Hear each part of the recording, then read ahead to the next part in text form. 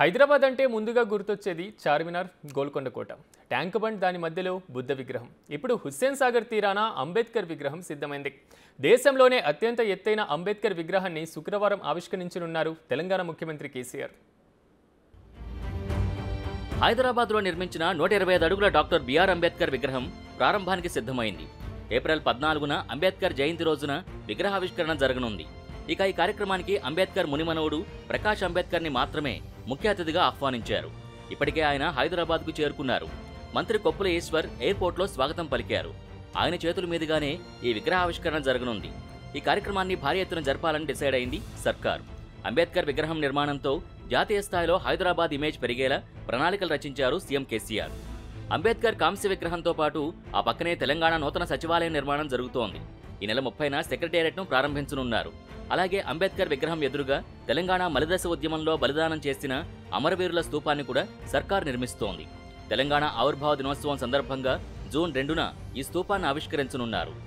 నూట ఇరవై ఐదు అడుగుల ఎత్తులో నిర్మించిన అంబేద్కర్ మహావిగ్రహాన్ని తెలంగాణ సమాజంతో పాటు యావత్ దేశ ప్రజలు సంబరపడేలా గొప్పగా ఆవిష్కరించాలని సీఎం కేసీఆర్ ఆదేశించారు.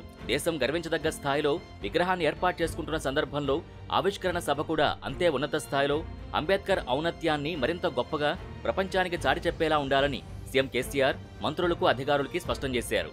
శుక్రవారం ఈ విగ్రహాన్ని తెలంగాణ ప్రజలతో పాటు జాతికి అంకితం చేయనున్నారు. ఇక ఈ విగ్రహ నిర్మాణంలో తమకు భాగస్వామ్యం కల్పించడం పూర్వజన్మ సుకృతంగా భావిస్తున్నట్టు తెలిపారు మంత్రి ప్రశాంత్ రెడ్డి. సమాజంలో అత్యంత పేదలుగా దళితులే ఉన్నారని కేసీఆర్ తరచూ తనతో అంటుంటారని వాళ్ళు వృద్ధిలోకి వస్తేనే రాష్ట్రం అభివృద్ధి చెందినట్టని చెబుతుంటారని తెలిపారు. సీఎం కేసీఆర్ దళితుల పక్షపాతి అని చెప్పారు. ఆయన ఎప్పుడు చెప్పే మాట ఏంటంటే ఈ సమాజంలో అత్యంత పేదవారు ఎవరైనా ఉన్నారంటే అది దళితులే.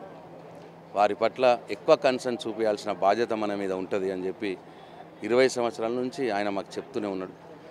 ఆయన తెలంగాణ రాష్ట్ర పగ్గాలు చేపట్టిన తర్వాత ఆయన ప్రతి కార్యక్రమం ఇప్పుడు నేను చెప్పిన ఈ మాటకు అనుగుణంగానే నడుస్తూ ఉన్నారు ప్రతి కార్యక్రమంలో దళితులకు పెద్దపీటనే అట్టడుగున వర్గాలకు పెద్దపీటనే ఆయన కంటే ఎక్కువ దళిత పక్షపాతి ఈ దేశంలో ఏ నాయకుడు కూడా లేడు.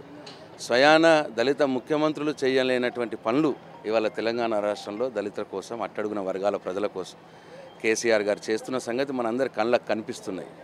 మొత్తానికి దేశంలోనే అత్యంత ఎత్తైన అంబేద్కర్ విగ్రహాన్ని ఏర్పాటు చేయడమే కాకుండా జాతీయ స్థాయిలో హైదరాబాద్ పేరు మారుమోగేలా ఆవిష్కరణ కార్యక్రమానికి ప్రభుత్వం ప్లాన్ చేస్తోంది.